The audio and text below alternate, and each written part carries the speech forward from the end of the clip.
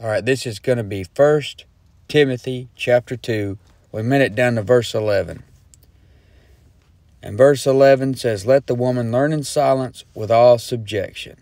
now, this would be in the context of the in the marriage, but it would have to apply to the church as well because if she was the pastor or a big teacher in the church over men, then she's going to end up teaching her own husband.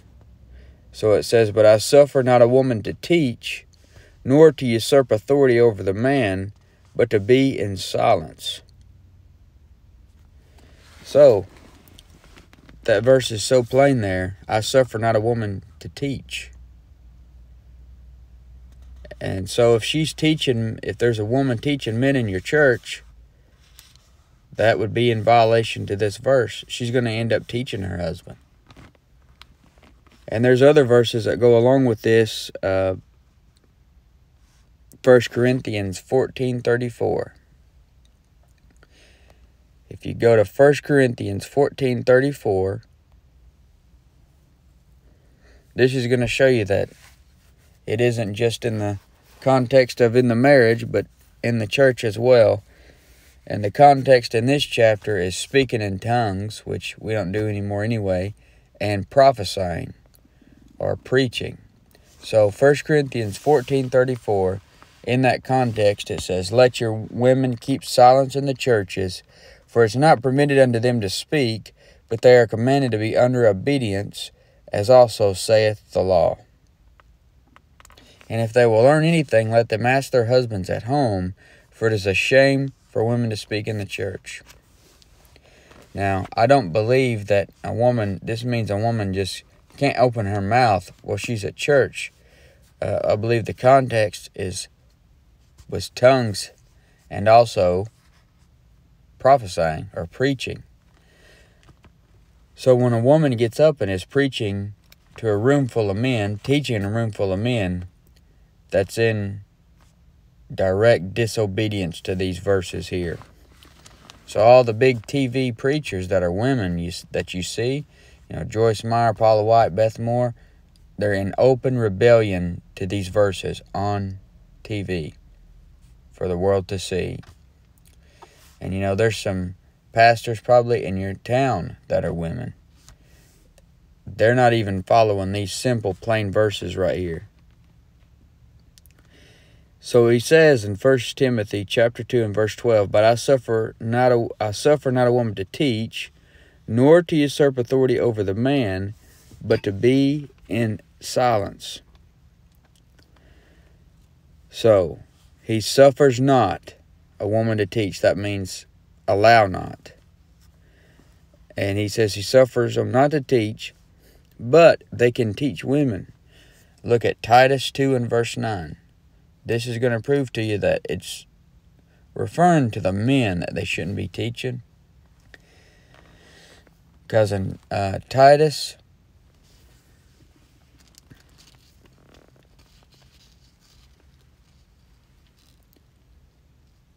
Titus chapter 2.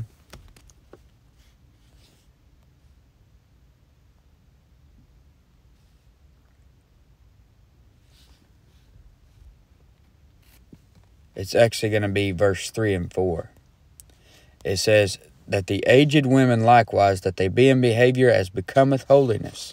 That means becometh holiness means what would match some match holiness, match somebody that's claiming to be holy. Not false accusers, not given to much wine, teachers of good things, that they may teach the young women to be sober, to love their husbands, to love their children. So they can teach women and they can teach children. Look at 2 Timothy chapter 1. 2 Timothy chapter 1.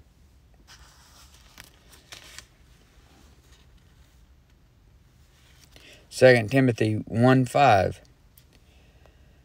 Even though women are supposed to teach men and have a big preaching job, pastoring position, things like that, they can still teach other women, they can still teach children. 2 Timothy 1 5, when I call to remembrance the unfeigned faith that is in thee, which dwelt first in thy grandmother Lois and thy mother Eunice. And I am persuaded that in thee also. You see, uh, Timothy's grandmother Lois and his mother Eunice were huge roles in his life.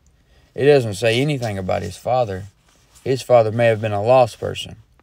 But when it comes to the faith that's in Timothy, most likely that good faith came from, was passed down from his grandmother Lois and his mother Eunice, them teaching him the scriptures. And Paul talks about how from a child he knew the Holy Scriptures. Who probably taught him? His grandmother Lois and his mother Eunice.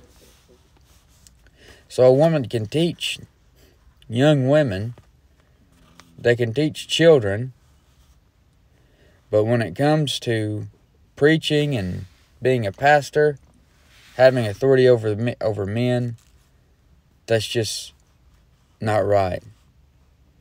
And he says back in 1 Timothy chapter 2 and verse 12, But I suffer not a woman to teach, nor to usurp authority over the man, but to be in silence. When a woman takes that authority position over the man, she ruins the picture. You see, in Ephesians 5, he talks about how let the, well, let's just go to it. Ephesians chapter 5 and verse 22. Ephesians 5:22. It says, "Wives, submit yourselves unto your own husbands, as unto the Lord, for the husband is the head of the wife, even as Christ is the head of the church, and he is the Savior of the body. Therefore, as the church is subject unto Christ, let the wives be to their own husbands in everything. Husbands, love your wives, even as Christ also loved the church and gave himself for it, that he might sanctify and cleanse it with the washing of water by the word, that he might present it to himself a glorious church, not having spot or wrinkle or any such thing, but that it should be holy and without blemish. So ought men to love their wives as their own bodies. He that loveth his wife loveth himself. You see, it's given the comparison of the husband and wife to Christ and the church. And if the if the wife is up teaching the husband, having authority over the husband, that ruins the picture because it's it's like the church is the head of Christ, you see?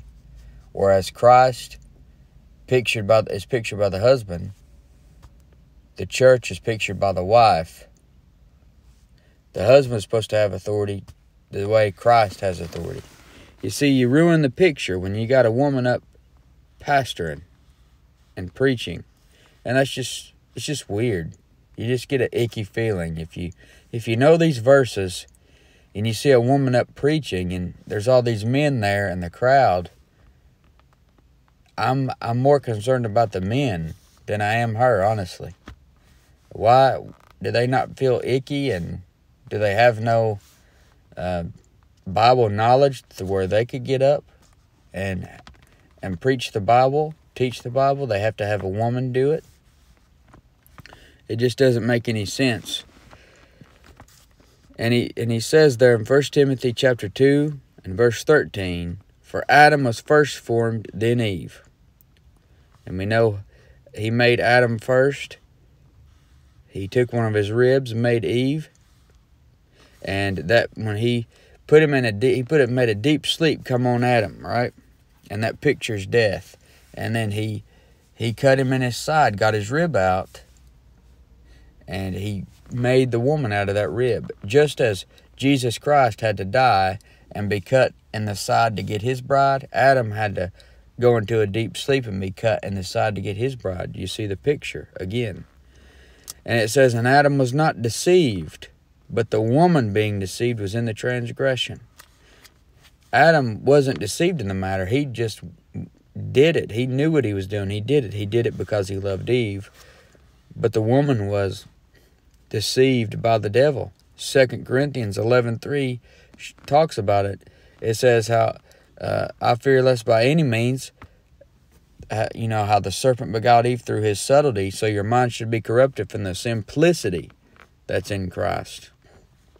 So Eve was beguiled in Genesis 3 1 through 7. She was deceived, and that's why uh, you don't want the woman with a head teaching job. She's more likely to be deceived. And that doesn't make her a bad person. That's just the way it is. Men have their own strengths and faults. Women have their own strengths and faults. Teaching is not one of the, the woman's strengths. And then it says in verse 15, Notwithstanding, she shall be saved in childbearing, if they continue in faith and charity and holiness with sobriety. So, saved in childbearing, that's a big thing to talk about there because that word saved. Now, that doesn't mean saved like saved from hell. This is saved from deception. What have we been talking about? The, the woman getting deceived. So when you get to verse 15, she's going to be saved in childbearing if her, if they, her and her husband continue in faith and charity and holiness with sobriety. You see, when a woman's going through certain things like childbearing, for example, she's even more likely to be deceived then because she's got all these different th- things going on with her body and emotions and stuff. But if her and her husband continue in faith and charity and holiness with sobriety, they not there's she's going to be a lot less likely to be deceived. And notice it doesn't just say if she continue in faith and charity and holiness with sobriety. She needs the man there too to help her keep from getting deceived.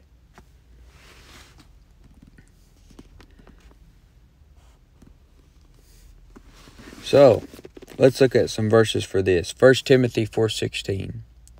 1 Timothy chapter 4 and verse 16.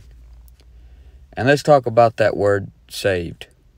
It says in 1 Timothy 4:16, "Take heed unto thyself and unto the doctrine, continue in them, for in doing this thou shalt both save thyself and them that hear thee." Once again, this is Paul talking to Timothy. Timothy's already saved when it comes to eternity going to heaven or hell. He's already saved. But if he continues in the doctrine that Paul's gave him, he's going to save himself and others from being deceived. That's the same type of thing that's going on in 1 Timothy 2. This is saved not in the sense of going to heaven or hell, it's saved in the sense of being saved from deception. So, she'll be saved in childbearing if they continue in faith and charity and holiness with sobriety. Compare with Proverbs 7:11. In Proverbs 7:11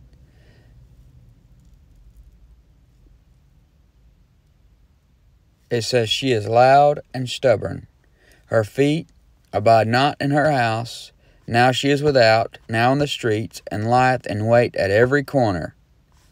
Now, if if you're out doing that and not continuing in faith and charity and holiness with sobriety, you're uh, way more likely to be deceived. But if you're doing as Paul said in 1 Timothy 2:10, but which becometh women professing godliness with good works, you're a lot less likely to be deceived. Now we can start chapter 3 in 1 Timothy. So 1 Timothy chapter 3 and verse 1.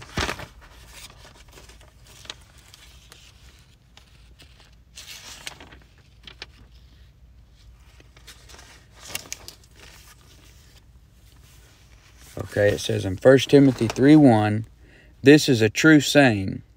If a man desire the office of a bishop, he desireth a good work. So if a man desires the office of a bishop.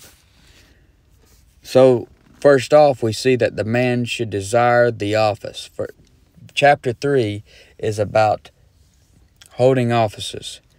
And the first thing you see is the man should desire the office. he shouldn't be doing it by constraint.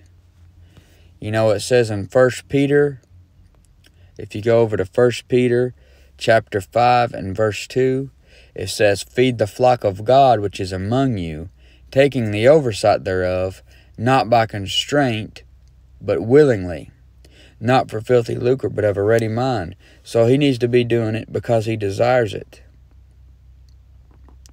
So if a man desire the office of a bishop, a bishop is a is also called a pastor and an elder. Look back at 1 Peter 5 again. 1 Peter 5 1 through 4. It says, The elders which are among you I exhort, who am also an elder, and a witness of the sufferings of Christ, and also a partaker of the glory that shall be revealed. Feed the flock of God which is among you taking the oversight thereof, not by constraint, but willingly, not for filthy lucre, but of a ready mind, neither as being lords over God's heritage, but being ensamples to the flock. And when the chief shepherd shall appear, ye shall receive a crown of glory that fadeth not away. So there you see, it's called uh, an elder and a shepherd or a pastor. You see, a bishop is a pastor and an elder. So you go back to 1 Timothy chapter 3. So the guy needs to desire it. The man should desire the office. He shouldn't be doing it by constraint. So if a man desire the office of a bishop, he desireth a good work. The office itself is a good work. So the man should show himself as a pattern of good works.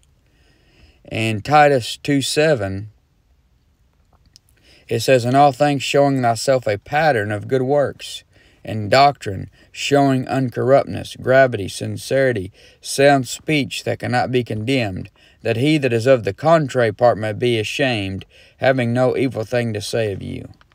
So the guy that holds the office of a bishop or that desires the office of a bishop needs to have a pattern of good works. He needs to desire the office, not doing it by constraint. And then, verse 2 A bishop then must be. Now, that's a big thing. Must be. That's present tense. And that's what these qualifications are going to be. You're looking for a pastor you look how he's doing in the present tense. You know, we can look at anyone's past record and find something to disqualify them. You can always look at somebody's past record and just about find anything that you want to find. But the uh, it says must be. That's present tense. Must be. So a bishop then must be blameless. Okay, what's blameless? Well, it can't mean sinless because Paul said, "For all have sinned and come short of the glory of God." Romans three twenty three. And Paul says about himself, he's the chief of sinners. Paul says about himself, O wretched man that I am, who should deliver me from the body of this death? But this, so this has to be blameless as the steward, look at Titus 1 7. When it comes to being a steward, he needs to be blameless. In Titus 1 7, for a bishop must be blameless as the steward of God. As the steward of God, he must be blameless. So that it can't mean sinless but when it comes to being a steward, blameless can't mean sinless because Paul was called blameless, touching the righteousness that was in the law before he was saved. Look at Philippians 3 6. In Philippians 3 and verse 6, Paul says about himself concerning zeal, persecuting the church. Before he was saved, he was persecuting the church he said, touching the righteousness which is in the law, blameless. He wasn't sinless, he was blameless, touching the righteousness which is in the law. And in 1 Timothy 3, it's blameless when it comes to being the steward. And these aren't just qualifications for a pastor. We should also strive to be blameless ourselves. Look at Philippians 2:15. See, a lot of people just want to look at these and say, "Well, this is just qualifications for a pastor." No, we should all be having trying to have these same qualities about our life. 2 Timothy 2:15 that ye may be blameless and harmless, the sons of God, without rebuke, in the midst of a crooked and perverse nation, among whom ye shine as lights in the world. So we need we also need to be blameless. And but when it comes to the qualification for the pastor, he needs to be blameless as the steward of God. So if it's a guy that's you know, he's got a history of doing a lot of awful stuff as the steward of God and holding an office in the church. He's done a lot of bad things. When it comes to that, that's uh, not really meeting that qualification there. So that's what that's what it has to be referring to. It can't refer to him being sinless because we're not sinless. It can't refer to him not having faults you know, we're all going to have faults, but blameless as the steward of God. Has he done some shady stuff as a pastor in the past? Then he's not really meeting that qualification. And you're not going to find any man that's going to meet all these qualifications all the time or that's met all these qualifications in the past. You see, a bishop then must be blameless. Maybe he wasn't meeting uh, all the qualifications in the past. Maybe he did do something, messed up and did do something in the past, and where he wasn't blameless. But you can get blameless. He could get blameless by coming to the Lord, getting forgiveness from the Lord, and then getting forgiveness by anybody that he sinned against and openly did wrong. You see, then he could be considered blameless again. You know, I don't think failure is final. So you can't just disqualify somebody and say, "Well, he did this in the past, therefore he's he's no longer qualified." Because you see, just as the Lord can forgive him, we can forgive him. So blameless, not sinless, it's blameless as a steward of God. Failure isn't final with the Father. So, he can get right and move on and meet that qualification again. All right, the next one. This is the big one. This is the big one that everybody uh, talks about. That every the only one that really anybody says anything about. A bishop then must be blameless, the husband of one wife. Now, this is super controversial here. The husband of one wife. And a lot of people are going to shoot me when I say this. It has to be referring to polygamy. It has to be referring to more than one wife at a time. And before you shut me off, just hear me out. It has to be referring to polygamy, not divorce and remarriage. To teach that a divorced and remarried man has two living wives is basically just saying that God doesn't recognize a divorce when he actually does. Let's look at some verses that go along with it. 1 Corinthians 7:15 Now the, uh, look at 1 Corinthians 7:15 and there are some ways that a person can be divorced and remarried and it not be a sin on their part. Now, when you talk about this, people say, well, you're supporting divorce. You're in favor of divorce. I'm not in favor of divorce, but I understand that divorces happen. God understands that divorces happen and are going to happen. So there's some grounds for divorce. In 1 Corinthians 7:15, the great chapter on marriage, it says, "But if the unbelieving depart, let him depart." A brother or sister is not under bondage in such cases, but God hath called us to peace. You see that? It said, If the unbelieving depart, let him depart. If you've got a husband or wife that leaves you, you're not in bondage to stay single the rest of your life.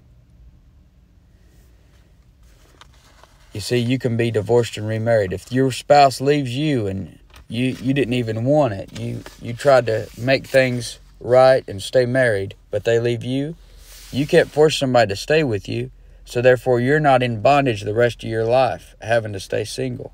So if you got remarried, there was no sin on your part when it come to the divorce and remarriage. Now look down at 1 Corinthians 7:39. It says in 1 Corinthians 7:39, "The wife is bound by the law as long as her husband liveth, but if her husband be dead, she is at liberty to be married to whom she will, only in the Lord." So if your spouse dies, you're free to get remarried and it not be a sin. The wife is bound by the law as long as her husband liveth, but if her husband be dead, she is at liberty to be married to whom she will, only in the Lord. And then Matthew 5:32. In Matthew 5:32 it says, "But I say unto you that whosoever shall put away his wife, saving for the cause of fornication, causeth her to commit adultery, and whosoever shall marry her that is divorced committeth adultery." So you see that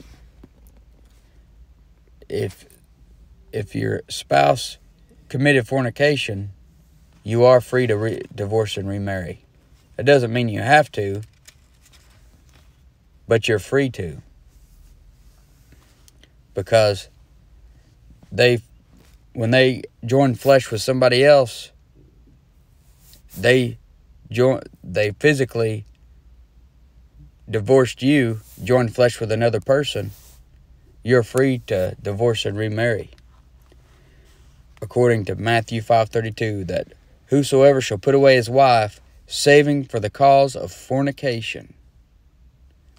You know, if she joins flesh with somebody else, you are free to meet remarry. If he joins flesh with somebody else, you are free to divorce and remarry. Do I recommend that you do? No, I think you should try to stay with that person, work things out.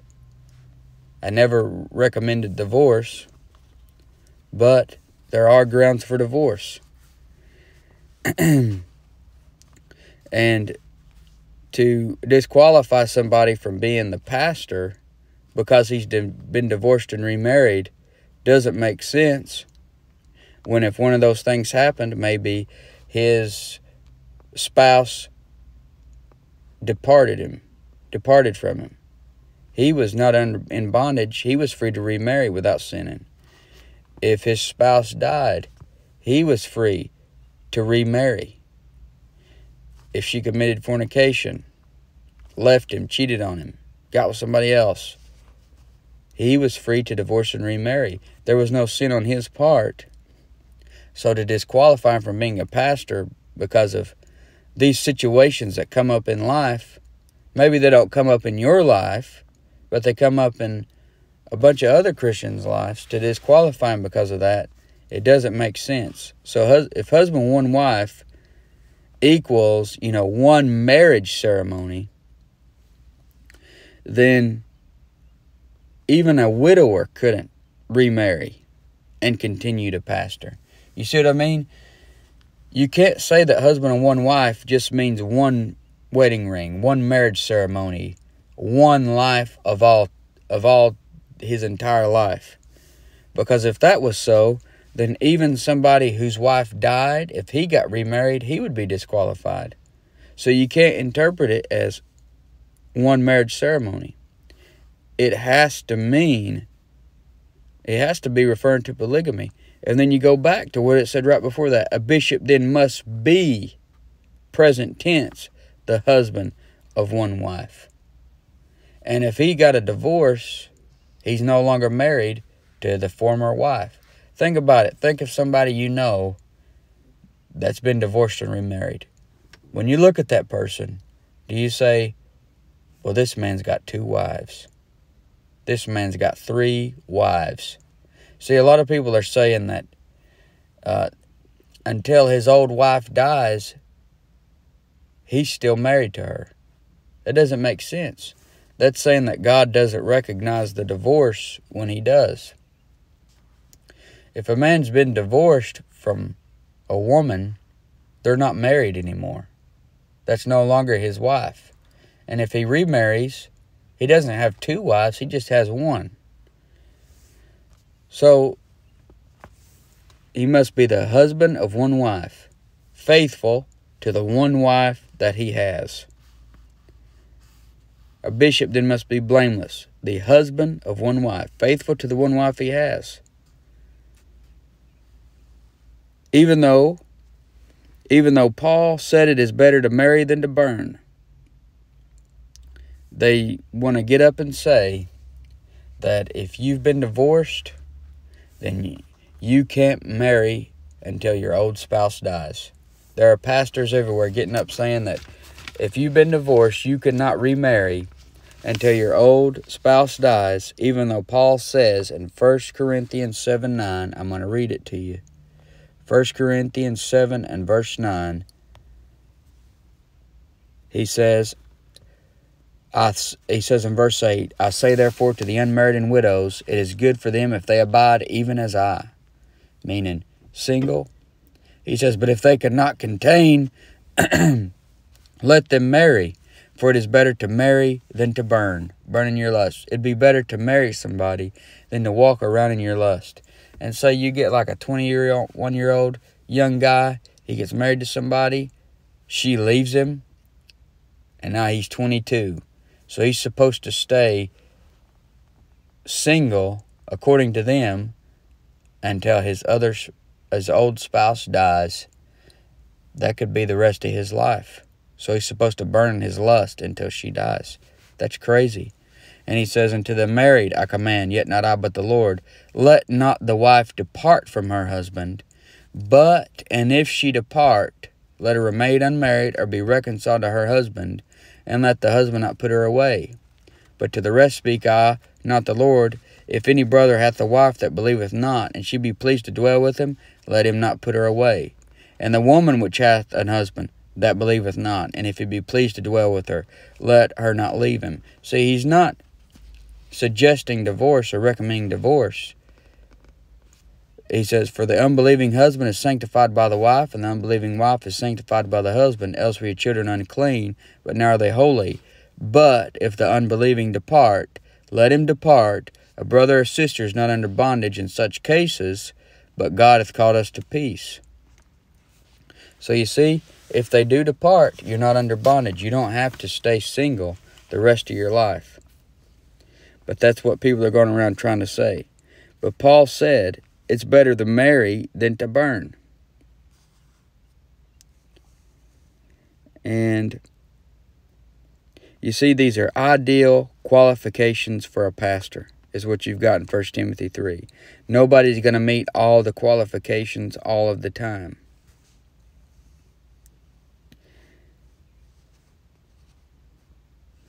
So, yeah, this also proves that these are ideal qualifications for a pastor. You can't say a man who is single couldn't pastor. Let's talk about that too. Husband of one wife. So you say, well, if he's going to be a pastor, he has to be married. Okay, well, that doesn't completely work either because would you not have Paul for a pastor? Paul wasn't married. Would you not have the Lord Jesus Christ for a pastor when he was walking the earth in the flesh. He wasn't married. So the, what you've got here is ideal qualifications for a pastor. If a man is a husband of one wife, he's got a wife, uh, he's going to be more likely to be able to lead a congregation full of married people better if he's the husband of one wife. Ideally, you want somebody that's married. That's the husband and has a family. because then he's going to be more likely to have uh, experience and wisdom with the family. But you uh, you can't just say that a guy who's single can't pastor because these are ideal qualifications. So, so this proves these are ideal qualifications for pastors. You can't say a man who is single couldn't pastor. That would disqualify Paul and Jesus Christ. But ideally, a married man can be an example and can help the congregation who are mostly married. And if husband of one wife means no divorce and remarriage, as in one marriage ceremony,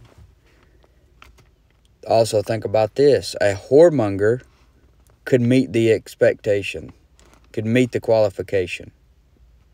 Think about that. Say you got a guy, there are men who, before they were saved, they'll go out and they'll they'll sleep with 20 different women and then they'll get saved and they'll settle down, they'll get a wife, and they live a godly life the rest of the time. And if if husband and one wife means only one marriage ceremony, then according to that, that that guy right there would meet the expectation or the qualification more than this another guy. Say this other guy who uh, never got into deep sin or nothing. Maybe got saved at a young age, never got into deep sin or anything, and or maybe he didn't even get saved at a young age, but never uh, fornicated before he was married, and say he, he marries a woman, things go good for a while, then she leaves him, and he's since he's a young guy, he definitely needs to get remarried because it's better to marry than to burn. So he gets married remarried. He's only been with his first wife and now the woman that he's married to. Never did any sexual sin. If if these verse if husband and one wife means one marriage ceremony, then you got the whoremonger, the guy that whored around his entire life. Uh, but had one marriage ceremony, you got him being more qualified than the guy who never whored around but had two marriage ceremonies, even though there was never any sin sexually on his part. You see how you this begins to not make sense? So a whoremonger can meet the expectation as long as he has more than one uh, as long as he just has one marriage ceremony, if you take that interpretation of husband and one wife.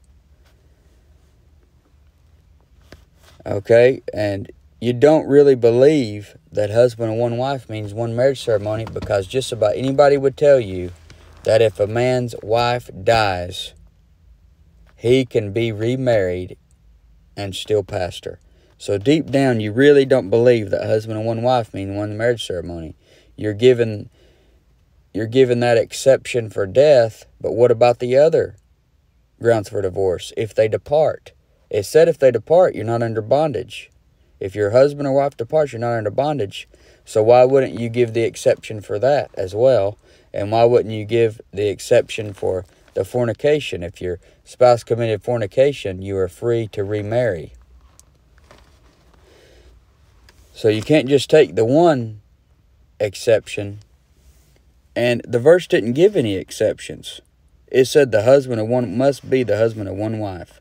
So husband and one wife cannot mean one marriage ceremony.